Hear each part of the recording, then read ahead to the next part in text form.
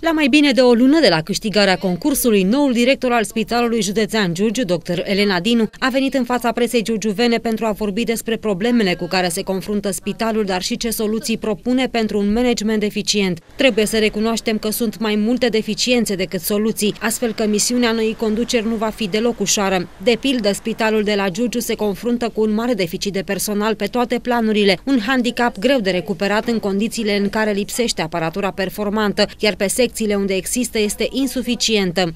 Medici noi am avut mai mulți, au plecat, așa cum știți sau nu știți. Uh, am pierdut foarte mulți medici rezidenți care au avut posturi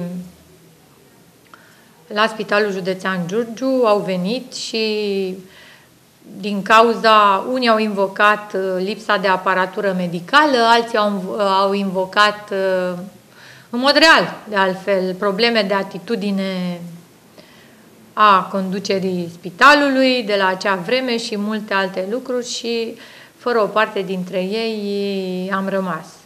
Încercăm să facem demersuri și mă, să angajăm noi medici, dacă vom reuși, sau măcar pe cei care urmează să vină, pentru că urmează să ne mai vină specialiști la re, ce, dintre cei care au dat concurs de rezidenția pe post, să-i oprim, să oprim la Giurgiu pentru că avem nevoie.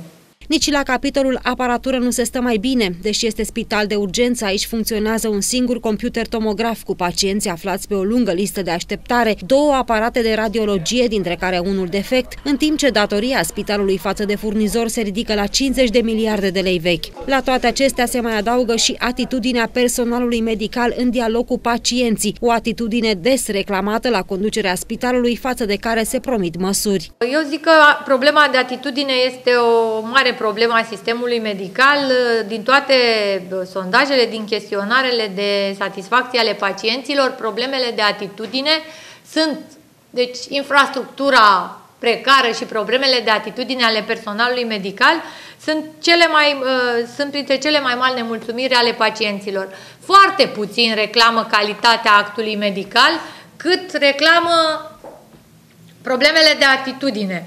Am solicitat și uh, Ordinului Asistenților Medicali.